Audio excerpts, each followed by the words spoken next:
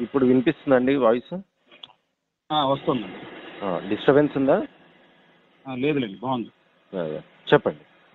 Sir ఇప్పుడు మీ religious religious practice మీద రెండు క్వశ్చన్స్ అడగొచ్చా? ఫస్ట్. ఏదండి ఏదండి? మామూలుగా మీ రిలీజియస్ ప్రాక్టీస్ మీద ఒక ఒక రెండు మూడు క్వశ్చన్స్ అడగొచ్చా? ఓకే అడగచ్చు. అడగచ్చు కదా మరి ఈ గ్రిగేరియన్ క్యాలెండర్ మీరు నమ్మరు కదా? గ్రెగోరియన్ క్యాలెండర్ అంటే ఎప్పుడు వచ్చిందండి ఇది? అదే నాకు ఇయర్ గుర్తులేదు మామూలుగా చ- మిమ్మల్ని అడుగుతున్నాను అంతే. అది పదహారు వందల శతాబ్దం వచ్చేటప్పుడు అంటే పదిహేను వందల ఎనభై రెండో ఎనభై మూడు అప్పుడు వచ్చిందండి అది. సరే ఓకే. మీరు బిలీవ్ చేస్తారా? ఎందుకు చేయాలండి? Tell me one good reason why should I believe in that calendar okay. మీరు నమ్మరు కాబట్టి మరి మీ బస్ ఆ క్యాలెండర్ ప్రకారమే ఉంటాయి కదా మీరు మీరు చేసుకోకూడదు కదా సార్? ఎవరు చెప్పాడండి? నేను ఆ- దాని ప్రకారం చేసుకుంటానని ఎవరు చెప్పారు మీకు? అంటే మామూలుగా ఇప్పుడు నేను ఇప్పుడు ఈ రోజు పుట్టాను అనుకున్నా సపోజ్ మ్మ్హ. ఈ రోజు ఈ డేట్ నే మీరు ఇంట్లో బర్త్డేలో చేసుకుంటారు కదా. ఎవరు చెప్పారండి మీకు అది? అలా చే- అలా అలా చేసుకోరా? ఇప్పుడు నాకు తెలియదు మీకు చెప్పండి సార్. అలా ఎందుకు చేసుకుంటారండి? ఈ ఇంగ్లీష్ వాడి క్యాలెండర్ మనకెందుకు సార్? మనకు చక్కగా మన పంచాంగం ఉంటాను. ఓకే. మీరు మీరు ఎలా చేసుకుంటారు చెప్పండి మరి అయితే. మేము పంచాంగం బేస్ చేసుకొని చేసుకుంటాం. మనం నక్షత్రం ఏ నక్షత్రంలో పుట్టాం దాన్ని బేస్ చేసుకొని చేసుకుంటాం. మీరు అలాగే చేసుకుంటారా? అవునండి. నేనే కాదండి. నేనే కాదండి. ప్రతి హిందూ అలాగే చేసుకుంటాడు. ఓకే. అంటే మా రిలీజియస్ ప్రాక్టీస్ అది మీ- మా బాగా మీ మా ఫ్రెండ్స్ చాలా మంది ఉన్నారు. మీ హిందూ హిందూ హిందూస్ బాగా. నా క్లోజ్ ఫ్రెండ్స్ ఉన్నారు. ఇప్పుడు ఒకటండి. చెప్పండి. మీ మీరు జాన్ పాలా ఏదో అన్నారు మీ పేరు. అవును జాన్ పాల్ నా పేరు. ఉమ్, ఏదో మీరు మహా అంటే మీకు ఎన్నేళ్ళు అవుతుంది మీకు ఇది ఈ- ఇది ఇలా వచ్చి? నేను ఫస్ట్ నుండి మీ క్రిస్టియన్. బీసీసీ. బై బర్త్ మీరు క్రిస్టియన్. క్రిస్టియన్ మా తాతగారి గారి దగ్గర నుండి మేము క్రిస్టియన్. తాతల గారి దగ్గర నాకు తెలియదు. మా అంతకుముందు నాకు తెలియదు. ఓహోహో. అంటే బ్రిటిష్ వాళ్ళు రాకముందు నుంచి మీరు క్రిస్టియన్సేనా? క్రిస్టియన్. అంటే మేబీ అంతే అవుతుంది. ఎందుకంటే నాది ఫార్టీ టూ ఇయర్స్ నాది. మేబీ మీ మీ ఏజ్ అయి ఉండొచ్చు. బ్రిటిష్ వాడు రాకముందు నుంచి మీరు క్రిస్టియన్లు. అంతే. మా తాతగారి పేరు యోబు గారు మా నాన్నగారి పేరు ఎలీషా అంటే ఇప్పుడు మీ తాతగారు వాళ్ళు అంటే అప్పట్లో గోవా దగ్గర ఏమైనా ఉండేటోళ్ళ గోవా ఇంక్విజేషన్ గురించి మాట్లాడారు. గోవా ఇంక్విజిషన్ గురించి మాట్లాడదాం కానీ మీ తాతగారు వాళ్ళు ఇప్పుడు ఎందుకంటే ఫ్రెంచోడు డచ్చోడు. వాళ్ళు పోర్చుగీస్ వాళ్ళు వీళ్ళు వచ్చిన తర్వాత కదా బ్రిటిష్ వాడు వచ్చింది ఓకే నాకు వాళ్ళు వాళ్ళు ఎక్కడున్నారు నాకు తాతగారు వాళ్ళు మాత్రం గుంటూరు జిల్లా మంగళగిరి. అదే ఉన్నారులేండి ఇప్పుడు మన దేశంలో బ్రిటిష్ వాడు వచ్చి అంత ఈజీగా వాడు చిన్న సైన్యాన్ని వేసుకొని వచ్చి దేశం అంతా కాంకర్ చేయగలిగాడంటే ఇక్కడ కూడా కొంతమంది ఉంటారు కదా స్వార్థపరులు. దాంట్లో ఏముందిలే కానీ. పెద్ద విషయమేం కాదు. మీకు అది దేవుడు అని చెప్పి చూపించాలంటారా? ఆ, నాకు చూపించండి.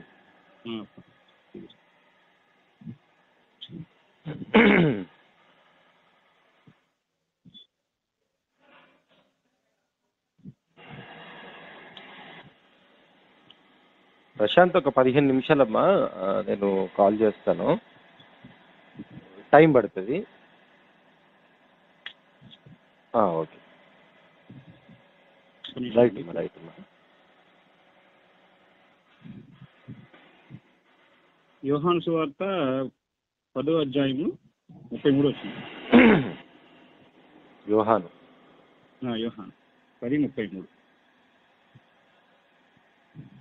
చదవమంటారా చదవండి చదవండి అందుకు ఈదులు నీవు మనుషుడివై ఉండి దేవుడు అని చెప్పుకుంటున్నావు. కనుక దేవదోషం చేసినందుకే నిన్ను రాళ్ళతో కొట్టును గాని మంచి క్రియ చేసినందుకు చేసినందుకు వారిని ఆయన. ఆయన చెప్పుకున్నందుకే కదా ఆయన ఇది ఎవరు చెప్పారు? సార్ ఇది ఇప్పుడు ఎవరు అంటున్నారు? అక్కడ ఉన్న యూదులు. యూదులు అంటున్నారు. ఇది ఒప్పుకుంటారు కదా మీరు? వాళ్ళు అన్న ఆయన అన్న- అన్నందుకే కదా ఇప్పుడు వేశారు? ఇప్పుడు వాళ్ళు ఏం చెప్తే దాన్ని ఆథెంటిసిటీగా మీరు తీసుకుంటారా అని అడుగుతున్నాను నేను. ఏ సార్? ఏమంటారు? వీళ్ళు ఏది చెప్తే దాన్ని మీరు. ఆథెంటిసిటీగా తీసుకుంటారా? యూదులు చెప్పింది పర్ఫెక్ట్ యేసు చెప్పాడో చెప్పలేదో పక్కన పెడదాం. యేసు అది అవునా కాదా. పక్కన పెడదాం. ఓకే. యూదులు చెప్పారు ఏంటంటే నువ్వు దేవుని కొడుకు అని చెప్పుకుంటున్నావు కదా. ఉమ్. కాబట్టి నిన్ను కొట్టి చంపేస్తాం అంటున్నారు. అంటే. ఈయన దేవుడు అని చెప్పుకుంటున్నాడని వాళ్ళు అంటున్నారు. ఈయన చెప్పాడు ఈయన చెప్పలే ఎప్పుడు? ఆయన చెప్పుకోబట్టే కదా సార్ అలా లేదండి. ఇప్పుడు ఒకసారి యోహాన్ ఎనిమిది నలభై ఒకటి తీయండి. నేను మీకు ఇంకోటి చూపిస్తాను. అప్పుడు మీరు చెప్తారు కదా. ఫస్ట్ ఇది తీయండి. దీన్ని ఇక్కడ ఒడగొట్టి తర్వాత ముంగడ పోదాం. చెప్పండి ఎక్కడ ఎక్కడ అంటారు?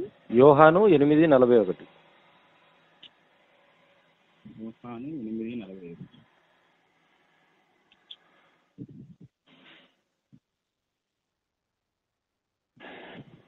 చదవమంటారా? చదవండి. మీరు మీ తండ్రి క్రియలే చేయుచున్నారని వారితో చెప్పును. చెప్పాను. అందుకు వారు మేము వ్యభిచారం వల్ల పుట్టిన వారము కాము. దేవుడు దేవుడు ఒక్కడే మాకు తండ్రి అని చెప్పగా. యేసు వారితో ఇప్పుడు వాళ్ళు ఏమంటున్నారంటే చెప్పండి. మేము నీలాగా వ్యభిచారం వల్ల పుట్టిన వాళ్ళం కాదురా అని తిడుతున్నారు వాళ్ళు. సార్ ఇలా మీరు wrong interpret sir. Wrong interpretation ఏముందండి అది? What is there. మీరు మీ తండ్రి క్లియరే చేయించున్నారు అన్నాడు. యెహోవా గురించి చెప్తున్నాడా? సార్ ఒకటి ఒకటి సార్. కాదు కాదు వాళ్ళ తండ్రి ఎవరండి? వాళ్ళ తండ్రి ఎవరు? ఎవరండి? యెహోవా దేవుడు. ఉం, యెహోవా తండ్రి క్రియలే చేయించున్నారని చెప్పి వాళ్ళని తిడుతున్నాడు. ఇప్పుడు అక్కడ మనుషులే కదా సార్ మాట్లాడేది.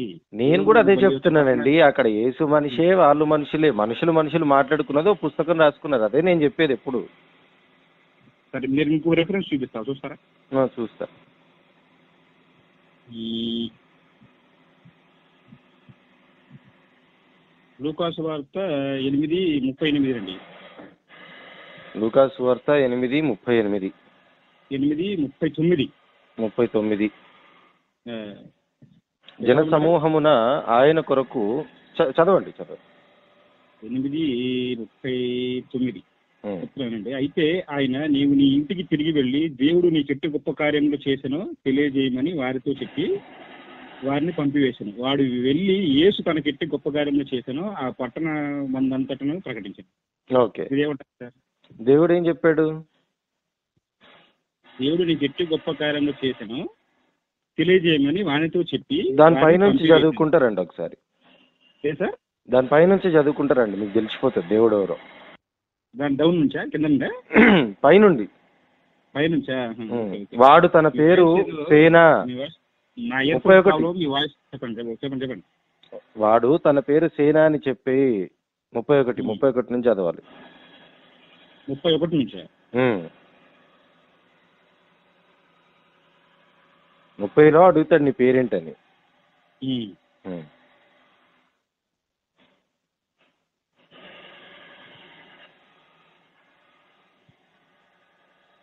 సరే ఓకే పాతాళంలోకి పోవుట పోవుటకు తమకు ఆజ్ఞాపించాలని ఆయన వేడుకొనేను.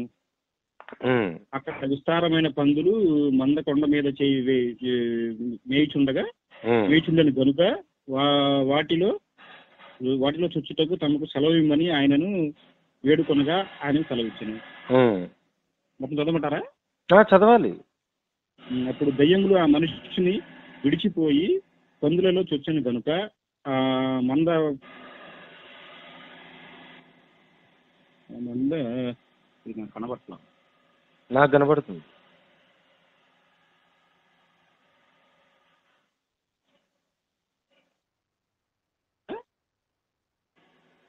ప్రపాతం నుండి సరస్సులోనికి వడిగా పరిగెత్తి ఊపిరి ప్రపాతము నుండి ప్రపాతం నుండి సరస్సులోనికి నడి వడిగా వడిగా పరిగెత్తి ఊపిరి తిరుగక చచ్చాను.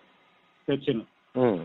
ఏపుచున్న వారు జరిగిన దానిని చూచి పారిపోయి ఆ పట్టణంలోను పట్టణములోను గ్రామములోను ఉం. ఆ సంగతి తెలియజేసింది ఉం. జనులు జరిగిన దానిని చూడవెళ్ళి యేసునొద్దకు వచ్చి దయ్యములు వదిలిపోయిన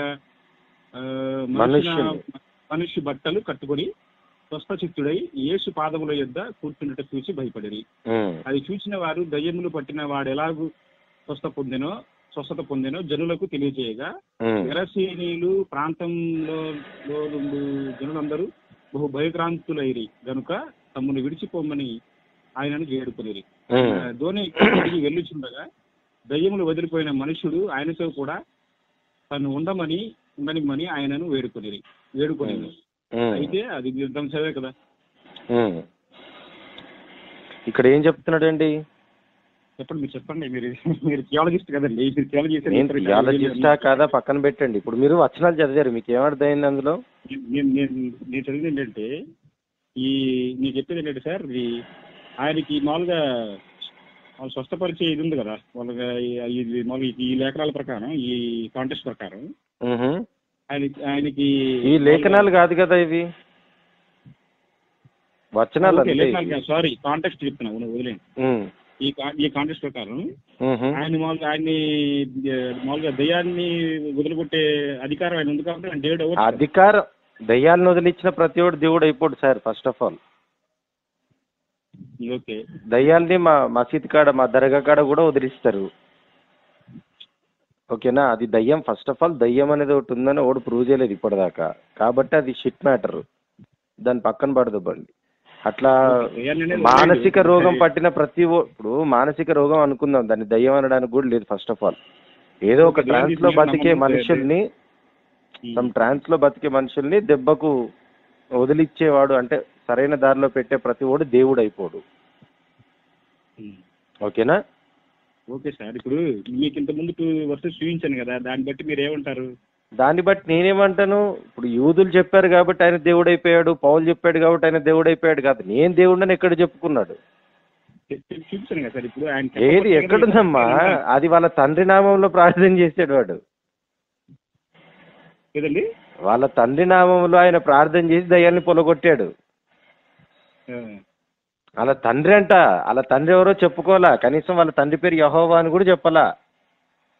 మీరు చాలా రాంగ్ ఇంటర్ప్రిట్ చేస్తున్నారు సార్. నేను రాంగ్ కాదండి నేను కరెక్ట్గా చెప్తున్నాను. బైబుల్ని ఎలా చదవాలో అలాగే చదవాలి. ఇష్టం వచ్చినట్టు నా మనసు ఇది చెప్తుంది నాకు ఇది తోచింది అంటే కుదరదు.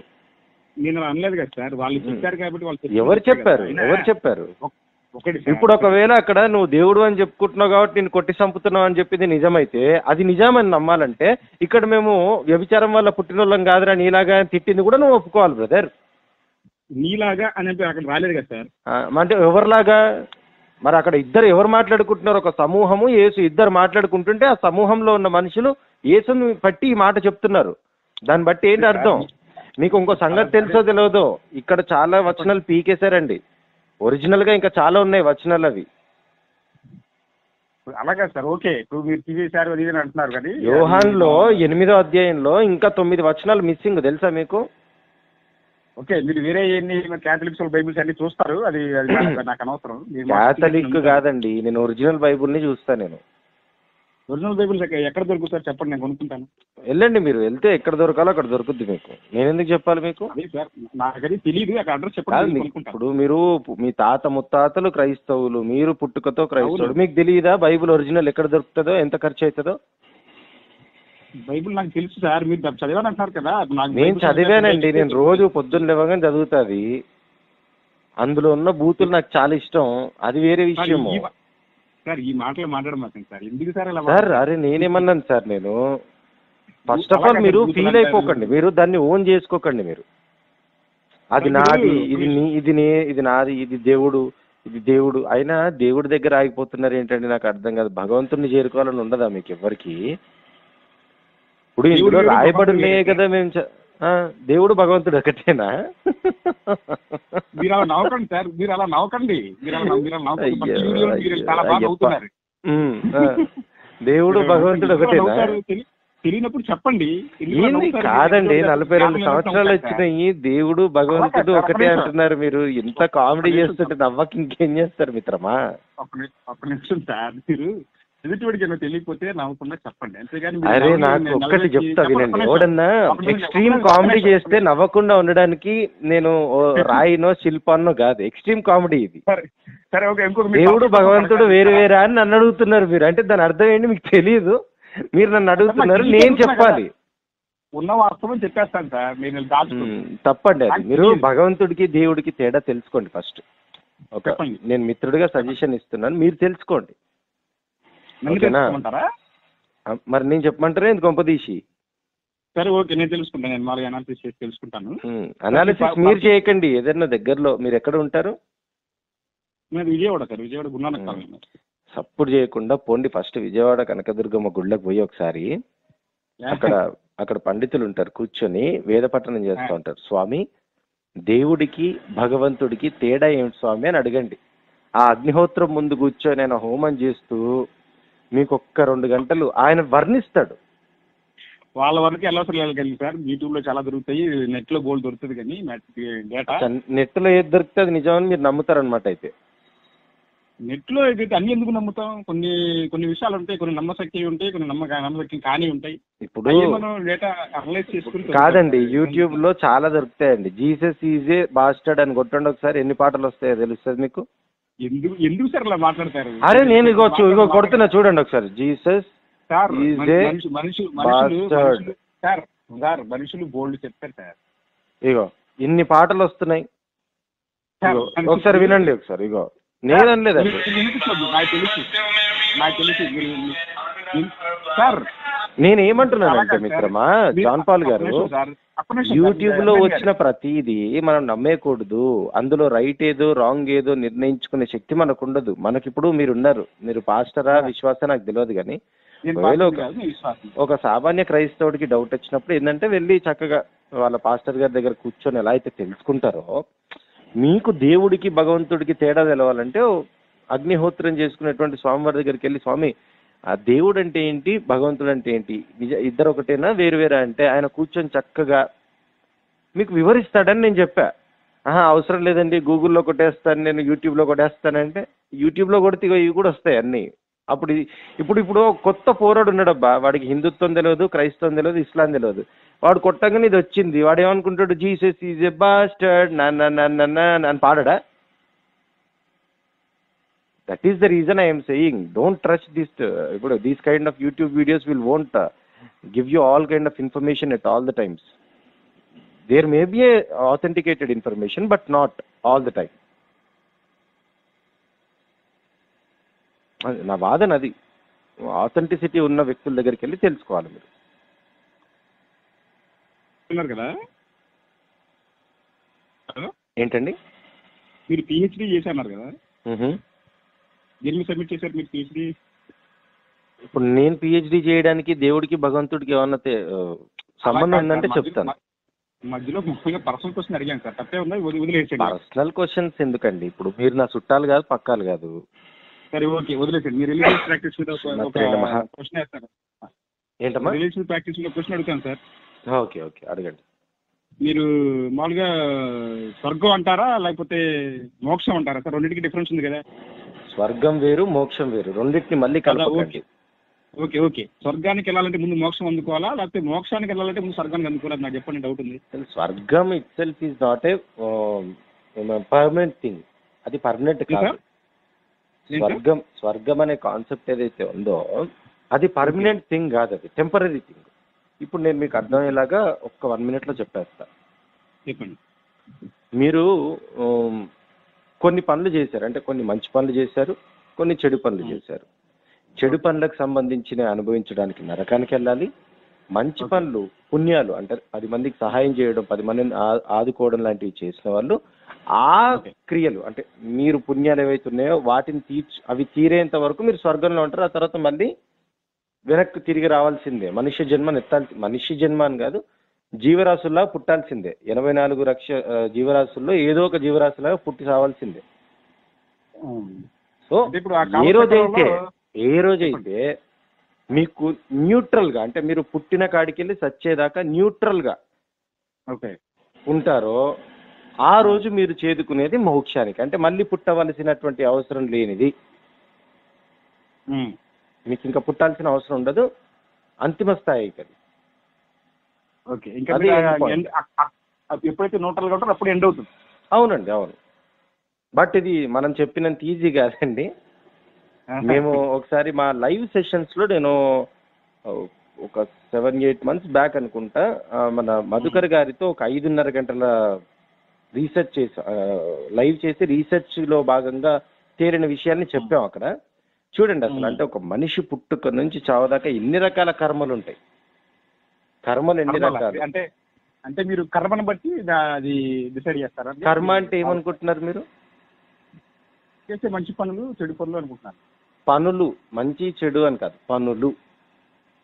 క్రియా? కర్మ అంటారు కదా. కర్మ ఈజ్ నథింగ్ బట్ మీరు ఏదో ఒక యాక్షన్ చేస్తూ ఉంటారు కదా దాన్ని కర్మ అంటారు. ఇప్పుడు నాతో మాట్లాడుతున్నారు అది కర్మే. ఓకే. మీరు ఏదో జీవరాశిలోకి రావాలన్నారు కదా? ఎనభై నాలుగు లక్షల జీవరాశులు. ఓకే. ఏదో ఒక. మామూలుగా ఒక ఒక జీవరాశిలోకి వస్తారు కదా మీరు తర్వాత మామూలుగా ఉన్నాను నేను. ఓకే. నెక్స్ట్ కూడా మళ్ళీ మనిషిగానే పుడతారని గ్యారంటీ లేదు. అస్సలు లేదు. సరే ఏదో ఒక జీవరాశిలోకి వెళ్తారు. వెళ్తారు. ఇప్పుడు ఆ జీవరాశి ఆ జీవరాశికి కూడా మంచి పనులు చెడు పనులు తెలుస్తాయి అంటారా? ఎందుకు తెలియవు దానికి ప్రూఫ్ ఏంటి సార్? మీరు పుట్టారు అనడానికి ప్రూఫ్ ఏంటి సార్? ఏది సార్? మీరు పుట్టారు అనడానికి ప్రూఫ్ ఏంటి? అదే అమ్మగారికి. మీ నాన్నగారికి అమ్మగారికి పుట్టారు అనడానికి ప్రూఫ్ ఏంటి? మా అమ్మగారు నాన్నగారు నాకు చెప్తారు. మీరు నాకు నాకు ఎవరని చెప్పి చెప్తారు. ఆ రోజు ఇప్పుడు మీరు ప్రూఫ్ కావాలంటే మీరు ఏ పందిలాగానో ఏ కుక్కలాగానో ఏ బర్రెలాగానో ఏ ఆవులాగానో పుట్టండి అప్పుడు మేము వచ్చి చెప్తాం మీకు. మరి అది అవును సార్ మరి ఇప్పుడు ఆ- యొక్క ప్రూఫ్ ఎక్కడా లేదు కదా? పలానా వాళ్ళు ఇలా తిరిగి పుట్టారు అనేది ప్రూఫ్ ఎక్కడా లేదు కదా? అయ్యయ్యో రీఇన్కాగ్నేషన్ గురించి మీకు పెద్దగా ఐడియా లేదనుకుంటానండి. మీరు మీరు పునర్జన్మ మీ వాయిస్ కట్ గురించి అయింది సార్. మీ వాయిస్ కట్టింది ఒకసారి రిపీట్ చేస్తారు? నా దగ్గర ఏం కట్ అవ్వదండి. మీరు పునర్జన్మ. సిద్ధాంతం గురించి మీరు బాగా తెలుసుకోవాలని ఆశ ఉంటే ఓకే. పుస్తకాలు నేను పంపిస్తాను చదువుకోండి. పునర్జన్మ అనే కాన్సెప్ట్ అండి. ఏదో ఫోన్లో మీరు నేను పిచ్చాపాటి కూర్చొని మాట్లాడే విషయాలు కాదు ఇవి. పునర్జన్మ సిద్ధాంతం it's life changing factor for you people. ఓకేనా? ఏ, ఎంతో మంది మహర్షులు ఋషులు మునులు మన తపస్సు చేసి తీసుకొచ్చిన జ్ఞానాన్ని జస్ట్ కామెడీగా ప్రూఫ్ ఏంటండి? అని రవితేజలాగా అడిగితే చాలా కామెడీగా ఉంటుంది. అప్పుడు నా సమాధానం కూడా కామెడీగానే ఉంటుంది. అదేదో ఇడియట్ బట్టి సినిమాలో ఆడు థియేటర్ బయట కూర్చుని అంతా మందే అంటాడు చూడు. అట్లా అడుగుతున్నారు మీరు. అట్లా కుదరదు. ఓకే. ఇప్పుడు మీరు చెప్పిన దాన్ని బట్టి నేను మన రియల్ లైఫ్ గురించి ఒక- ఒకటి చెప్తాను. దానికి మీరు అది సూట్ అవుతుందో చెప్పండి. ఇప్పుడు మన సుప్రీం కోర్ మన సుప్రీం జడ్జి ఉన్నారు కదా. ఎవరైనా? నాకు తెలియదండి. చంద్రచూడ? చంద్రచూడ్ చంద్రచూడ్. ఇప్పుడు ఆయన మనకి ఇంకా సుప్రీం కదా మామూలుగా తీర్పు ఇవ్వటానికి. అంతేనా? ఆయన కన్నా పైన ప్రెసిడెంట్ ఉన్నాడు మర్చిపోతా ఉన్నారులే. ఆయన ఓకే. ఆయన ఆయన చేసిన తర్వాత అక్కడికి వెళ్తుంది ఫైల్ అన్నీ వస్తాయి. ఇప్పుడు నేను ఉన్నాను సార్ సపోజ్ అనుకున్నాం. నేను మామూలుగా చాలా మంచోడిని అనుకున్నాను సపోజ్. చాలా మంచోడిని నేను మంచి పనులు మీరు చాలా మంచోళ్ళే నేను కాదని ఎప్పుడు అన్నాను ఇప్పుడు? ఫర్ ఎగ్జాంపుల్గా చెప్తున్నాను నేను సార్. ఫర్ ఎగ్జాంపుల్ కాదండి మీరు నిజంగానే మంచోళ్ళు నేను ఒప్పుకుంటున్నా. మీరు ఒప్పుకోవడానికి ఏంటి ఇబ్బంది? సరే ఓకే. నేను చాలా మంచి పనులు చేస్తున్నాను అన్నదానాలు చేస్తున్నాను చాలా హ్యాపీగా ఉంటున్నాను. కానీ ఇంకొక పర్సనల్ లైఫ్లో నేను ఒక అమ్మాయిని రీచ్ చేశాను అనుకున్నాను ఓకే. నన్ను తీసుకెళ్ళి సుప్రీం కోర్టులో నిలబెట్టారు. నాకు మామూలుగా న్యాయం చేస్తామని రేప్ రేప్ చేశారా? అనుకున్నావు సపోజ్. రేప్ చేసి సంపిదెంగుతా నేను. నేను కోర్టు దాకా తీసుకుపోనుగా అమ్మాయిని ఎవడని ఇబ్బంది పెడితే నేను కోర్టులు. శిక్ష అసలు ఫస్ట్ ఆఫ్ ఆల్ నేను ఏమ నేను ఏం కోరుకుంటున్నానంటే ఈ భారత ప్రభుత్వం వాళ్ళు అండ్ ఈ సుప్రీం కోర్టులలో ఉన్న జడ్జిలు కామన్. మ్యాన్కు ఒక రైట్ ఇచ్చేసేయాలి. ఎవడైనా కళ్ళ ముందు అమ్మాయిని ఇబ్బంది సార్. పెడుతున్నట్టు కానీ రేప్ చేస్తున్నట్టు సార్. కానీ తెలిస్తే విత్ ఎవిడెన్స్ ఒకవేళ వాడు అక్కడ ఒక అమ్మాయిని ఇబ్బంది పెడుతున్నాడని ఒక చిన్న వీడియో ప్రూఫ్ ఉంటే చాలు వాడిని చాకు తీసుకొని నరికిద్దేంగాలని చెప్పి ఒక జీవో తీసుకురావాలి. సరే ఓకే ఓకే. మన ఓకే తీసుకుంటారు కానీ. నేను అది కోరుకుంటా. ఎందుకంటే. ఇమ్మీడియట్గా కావాలి నాకు. అదే సార్ ఇప్పుడు అక్కడ వరకు వారు అలా చేయట్లేదు ఎవరు కాదు అక్కడ వరకు తీసుకెళ్తున్నారు కదా. ఒక సుప్రీం కోర్టు మనకంటే హై అథారిటీ ఉంది. ఇప్పుడు కోర్టులు. కోర్టుల వ్యవస్థ గురించి ఎందుకులేండి సార్? కోర్టులు ఉన్నోడికి ఒకలా ఉంటది పేదోడికి ఒకలాగా ఉంటది అది. సరే సార్ ఇంత మీరు చెప్పిన దానికి మీకు క్వశ్చన్ వేస్తున్నా కొంచెం జవాబు తెలిసి తెలుస్తుంది మీకు చెప్పండి. ఏంటది? అదే సార్ నిలబెట్టినప్పుడు నేను ఒక చాలా మంచి పనులు చేస్తున్నాను అని చెప్పేసి నేను చెప్పేసి ఆ కేసు కొట్టారు కదా. అసలు వీళ్ళు మనుషులు కదా. ఏదేది? జస్టిస్ జస్టిస్ చంద్రచూడ్ ఏమైనా పర్మనెంట్గా అదే పొజిషన్లో కూర్చుంటాడా? కూర్చోరు వేరే వాళ్ళు వస్తారు. మరి? అదే సార్ అంటే వేరే వాళ్ళు వచ్చి వేరే వాళ్ళు తిరిగి మార్చేస్తారంటారా? ఎందుకు మార్చారండి? అట్లాంటి చాలా కేసెస్ ఉన్నాయండి బాబు మీకు తెలియకపోతే. మీరు ఇంకా చాలా చాలా చాలా వెనకబడుతున్నారు మీరు. నేను వెనకబడి లేను సార్ ఒక్క నిమిషం. మీరు చెప్పిన దానికి నేను అడుగుతున్నాను. ఒక ఒక జస్టిస్ ఇచ్చిన తీర్పుని ఇంకో జస్టిస్ మారుస్తారా అని అడిగారు మీరు. నేను ఎన్ని కేసులు చూపించాలి ఇదే. భారతదేశంలో. ఓకే దానికి సపరేట్ అమెండ్మెంట్లు ఉంటాయి. దాని మామూలుగా కాన్స్టిట్యూషన్ ప్రకారంగా లేదండి అలా. కాదండి. అమెండ్మెంట్ లా ఏం లేదు. ఒకే కేసు. ఒక జడ్జి గారు రిటైర్ అయ్యే ముందు ఉరిశిక్ష చేశారు. సరే నేను పేరు తీసుకోను కానీ ఒక ఫ్యాక్టరీ లో జరిగింది. ఆయన రిటైర్ అయిన వన్ వీక్ తర్వాత మళ్ళీ ఇంకొక జడ్జి వచ్చారు. మళ్ళీ దాన్ని వీళ్ళు ఏం చేశారు? పిటిషన్ మళ్ళీ వేశారు. పునరాలోచించాలని చెప్పి. Just file? ఓపెన్ చేసి. ఐదే ఐదు నిమిషాల్లో కేసు మొత్తం కొట్టేసిండు ఆయన. అదే సార్ ఎందుకని? వాడి స్వార్థం. లేదా వీడి స్వార్థం. ఇప్పుడు అలాగా అలాగే మీరు చెప్పిన దాన్ని బట్టి చూస్తే దేవుడు కూడా మంచి పనులు చేశారని చెప్పేసి చెడిపడిని కొట్టారు కదా సార్. చెడ్డ పనులు ఎట్లా కొట్టేస్తారు సార్? నేను అదే చెప్తున్నా కదా బైబిల్లో నన్ను నమ్మితే చాలు నువ్వు ఎన్ని పాపాలు చేసినా నేను పాపుల కోసమే వచ్చినా నేను దౌర్భాగ్యుల కోసమే వచ్చినా అని చెప్పుకుంటాడు. ఆ, చెప్పారు. కానీ కానీ శరీర శరీర ప్రకారంగా వాడికి లోకంలో ఎన్ని శిక్షలు వేయాలంటే ఆ శిక్షలు వచ్చేస్తాయి. ఎట్లా? అనుభవిస్తాడు జైలుకి వెళ్తాడు జైలుకి వెళ్తాడు అనుభవిస్తాడు శిక్షలు. అట్లనా? అప్పుడు కూడా ఇప్పుడు నాకు ఇది ఇప్పుడు చెప్పండి. ఇప్పుడు నాకు ఇది చెప్పండి. లోకంలో. క్రైస్తవులు ఎంతమంది మర్డర్లు మానభంగాలు చేసి ఇంకా రోడ్ల మీద తిరిగేటోళ్ళని నేను చూపియాలనా? వాళ్ళు అలా కదా సార్ వాళ్ళకి శరీర ప్రకారం వాళ్ళు జైలు వేస్తారు కదా శిక్ష పడిపోతుంది కదా. ఎక్కడేశారు లేదు కదా. అది నాకు నాకు తెలిసిన వాళ్ళు చాలా మంది ఉన్నారు సార్. నేను నేను నేను మీకు మన తెలుగు రాష్ట్రాల్లో చూపియాలా కేరళలో చూపియాలా నాగాలాండ్లో చూపియాలా అస్సాంలో చూపియాలా? నిన్నగాక మొన్న జరిగిన గొడవ అలాగా? మణిపూర్లో గొడవ జరుగుతుంది. మణిపూర్లో జరుగుతుంది. చూపియాలా? ఒక నిమిషం సార్ ఇప్పుడు వాళ్ళు అలా శిక్ష పడకుండా బయట తిరుగుతున్నారంటారా? అవునండి శిక్ష పడిన తర్వాత బెయిల్ తీసుకొని బయటకు వచ్చేస్తున్నాడు ఏది? ఇటువంటి రేప్ కేసులు? ఆ రేపు లేని సార్ మర్డర్ కేసులు. ఇప్పుడు జగన్మోహన్ రెడ్డి ఉన్నాడు మీకు ఇప్పుడు ముఖ్యమంత్రి అయినా ఆయన మీద కేసులు లేవా? ఆయన మీద ఎందుకు లేవు? ఉన్నాయి. మరి ఆయన బయట తిరుగుతున్నాడు ఏకంగా ముఖ్యమంత్రి అయి కూర్చున్నాడు కదా. అది అది కోర్టు మిస్టేక్ అది. మనం చేయలేము మనం ఏం చేయలేము నేను అదే చెప్తున్నా మరి. అది ఏసు మిస్టేక్. అది ఏసు మిస్టేక్ మళ్ళీ తప్పు. చేసినోడికి తప్పు చేసినోడికి శిక్ష అనుభవించేటువంటి స్థాయిని వాడికి కల్పించాలి. అయితే మీరు శరీరకంగా చేసిన తప్పులకి శరీరకంగానే వస్తుంది అనడం ఏమో మరి అది ఎంతవరకు కరెక్టో నాకు తెలియని దాని గురించి కమెంట్ చేయను కానీ బైబుల్ ప్రకారం మాత్రం అండి ఆ, మార్కు పదహారు పదహారు ప్రకారము. అవన్నీ వదిలేండి సార్ మీతో బైబిల్ చెప్పుకునే పరిస్థితిలో నేను లేలే కానీ అయ్యయ్యో బైబుల్ వదిలేయమంటారు ఏంటి సార్? నేను బైబుల్ని పట్టుకొని ఉంటాను. బైబిల్ వదిలేయమంటలేదు సార్. మీతో బైబిల్ తెలుసుకునే పొజిషన్ నేను లేను. అది. నేను ప్రతి ఒక్కరికి మీరు ఇలా పూజ చేసినప్పుడు రెఫరెన్స్ తీయండి అది ప్రతి ఈ క్వశ్చన్ చెప్పరు Kerala ఇలా అడగరు? ఇలా అడగరు. సరే సార్ ఓకే. వన్ సెకండ్ అండి ఒక నిమిషం. ఏందండి ఏందండి? అదే ఆఫీస్ టైం అవుతుంది మేము మళ్ళీ మళ్ళీ చేస్తాం మీకు మళ్ళీ మాట్లాడదాం మాట్లాడదాం అండి మీరు చాలా ఇంట్రెస్టింగ్ ఉన్నారు మీకు బైబిల్ బాగా తెలుసు కదా? సార్ మీకు బైబిల్ బాగా తెలుసు కదా? జాన్ పాల్ గారు. చేటా. జాన్ పాల్ గారు. జాన్ పాల్ చేట. చేట? This call is now being recorded. Yeah, ఇ- ఇప్పుడు వినిపిస్తుందండి వాయిస్? ఆ, వస్తుంది డిస్టర్బెన్స్ ఉందా? లేదులేండి బాగుంది. చెప్పండి. సార్ ఇప్పుడు మీ రిలీజ్ రిలీజియస్ ప్రాక్టీస్ మీద ఒకటి రెండు క్వశ్చన్స్ అడగొచ్చా? ఫస్ట్. ఏదండి ఏదండి? మామూలుగా మీ రిలీజియస్ ప్రాక్టీస్ మీద ఒక ఒక రెండు మూడు క్వశ్చన్స్ అడగొచ్చా? ఓకే అడగచ్చు.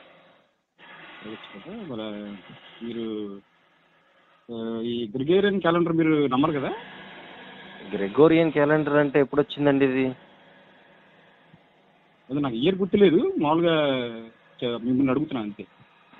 అది పదహారు వందల శతాబ్దం వచ్చేటప్పుడు అంటే పదిహేను వందల ఎనభై రెండో ఎనభై మూడు అప్పుడు వచ్చిందండి అది. సరే ఓకే. మీరు బిలీవ్ చేస్తారా? ఎందుకు చేయాలండి? Tell me one good reason why should I believe in that calendar okay. మీరు నమ్మరు కాబట్టి మరి మీ కూడా ఆ క్యాలెండర్ ప్రకారమే ఉంటాయి కదా. మీరు మీరు చేసుకోకూడదు కదా సార్? ఎవరు చెప్పాడండి? నేను దాని ప్రకారం చేసుకుంటానని ఎవరు చెప్పారు మీకు? అంటే మామూలుగా ఇప్పుడు నేను ఇప్పుడు ఈ రోజు పుట్టాను అనుకున్నా సపోజ్. ఈ రోజు ఈ డేట్ నే మీరు ఇంట్లో బర్త్డేలో చేసుకుంటారు కదా. ఎవరు చెప్పారండి మీకు అది? అలా చే- అలా అలా చేసుకోరా? మీరు నాకు తెలియదు మీకు చెప్పండి సార్. అలా ఎందుకు చేసుకుంటారండి? ఈ ఇంగ్లీష్ వాడి క్యాలెండర్ మనకెందుకు సార్? మనకు చక్కగా మన పంచాంగం ఉంటాను. ఓకే. మీరు మీరు ఎలా చేసుకుంటారు చెప్పండి మరి. మేము పంచాంగం బేస్ చేసుకొని చేసుకుంటాం మనం. నక్షత్రం ఏ నక్షత్రంలో పుట్టాం దాన్ని బేస్ చేసుకొని చేసుకుంటాం. మీరు అలాగే చేసుకుంటారా? అవునండి. నేనే కాదండి. నేను